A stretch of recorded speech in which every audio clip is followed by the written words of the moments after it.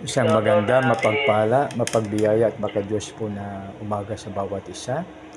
Uh, salamat sa pagkakataong ito. Purihin natin ang ating Panginoon sa pagkataong ito na tayo ay makinig ng pinakamagandang balita mula at hango sa Biblia. No? Maraming salamat. Hango po sa Scripture mga kaibigan.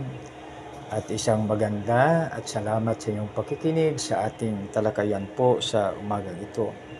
So aking babasahin po ang ating guide po sa ngayon. Uh, pinapunta kay JC si Samuel. Sinabi ni Yahweh kay Samuel, hanggang kailan ka malulungkot para kay Saul. Itinakwil ko na siya bilang hari ng Israel. Ngayon, magdala ka ng langis, pumunta ka kay JC na uh, pahiran sapagkat pinili ko upang maging hari ang isa sa kanyang mga anak. Sumagot si Samuel, Paano ako pupunta roon? Tiyak na papatayin ako ni Saul kung malaman niya ang dahilan ng aking pagpunta, ng pagpunta ko roon. Sunod, Sinabi ni Yahweh, magdala ka ng dumalaga ng isang dumalagang baka at sabihin mong maghandog ka kay Yahweh. Anyayahan mo si Jishi sa paghandog at ituro mo ituro ko sa iyo kung ano ang gagawin mo at is kung sino ang papahiran mo ng langis. Sinunod ni Samuel ang utos sa kanya ni Yahweh. Nagpunta nga siya sa Bethlehem. Sila'y sinalubong ng matatanda, matatandang pinuno sa lungsod at nanginginig at nagtanong, sa ikababuti ba namin ang iyong pagparito? Oo, sagot niya. Naparito ako upang maghandog kay Yahweh. Inihanda ninyo ang inyong sarili at sumama kayo sa akin.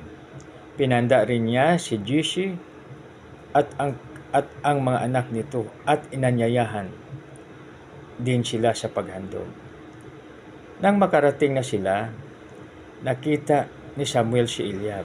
Pinagmasdan niya ito at sinabi sa sarili, Ito na nga ang pinili ni Yahweh para maging hari. Ngunit sinabi sa kanya ni Yahweh, Huwag mong tingnan ang kanyang taas at kakisigan sapagkat hindi ko siya pinili. Hindi hindi ang hindi siya ang pinili ko. Si Yahweh hindi tumitingin ng katulad ng pagtingin ng tao.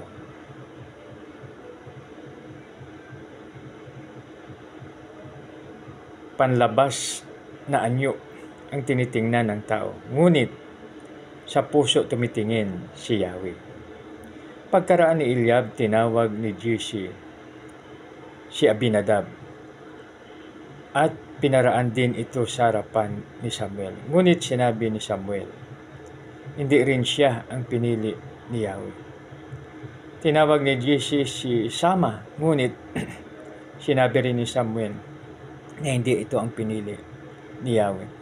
Isang-isang tinawag ni Jesse ang pito niyang mga anak, ngunit wala sa kanila ang pinili ni Yahweh. Kaya't sinabi at nagtanong si Samuel kay Jesse, mayroon ka pa bang anak na wala rito?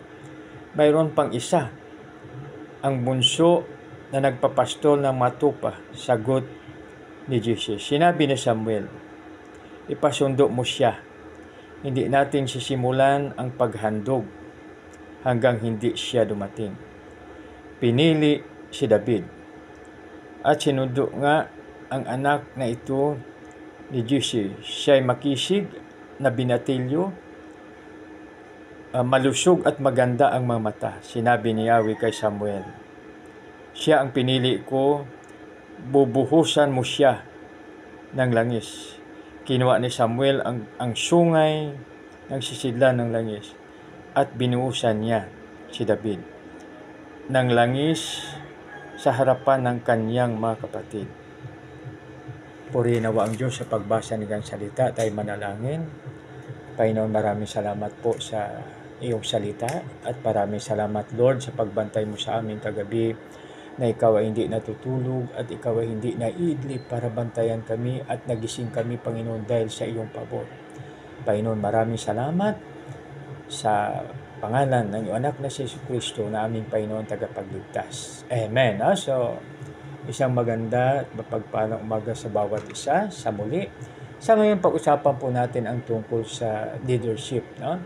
So maraming klase po ng pangunguna, subalit ang ating bigyan ng diin ngayon ay ang tinatawag natin na servanthood leadership. No? So umpisahan po natin sa tahanan. Sa panahon ng ating His Excellency President Rodrigo Rua Duterte, uh, nagsalita siya no, sa ang sabi niya, yung during the pandemic po yan, no, 2019. Uh, so 20 na na-implement. Ang sabi niya, ang bawat tahanan ay dapat mayroong simbahan, ang bawat pamilya dapat mayroong kapilya. No? So ibig sabihin na isang magandang adhikain ang kanyang pinalabas na utos. No? So dito, ang mga mangunguna no, sa simbahan at saka sa kapilya, sa simbahan ng bawat tahanan at sa kapilya ng bawat tahanan ay ang tatay. No? Kung siyempre kung wala ang tatay, ang nanay. No? Kasi mahalaga ang role nila sa pamilya. So ibig sabihin niya na unang-una, ang tatay o kung nanay man ang uh, nangunguna no, sa kanilang spirit, spiritual needs sa tahanan Siyempre, maging halimbawa po muna, no? Kasi ang mga leader, palaging halimbawa yan. So, tingnan natin yung mga leader natin, no? Yung mga sikat, no? Si Hitler, no? Uh, naging leader. Pero, siyempre, mayroong mga guidelines yung kanyang pagka-leader, no? Yung ating mga presidente, yung ating mga hero, mga leaders po sila, no? Pero dito, sa tinutukoy ng ating dating presidente, ito yung servanthood leadership. Bakit po servanthood leadership? Kasi siyempre, di ba yung tatay, uh, pag manganak si mami, di ba siya naglalaba? Yung ang pa natin, no? ibig sabihin yung mga kaugaliga, kaugalian po ng Pilipino. So, servanthood leadership. Bata pa lang, inalagaan yung sanggol. No? So, doon pinapakita ng leadership.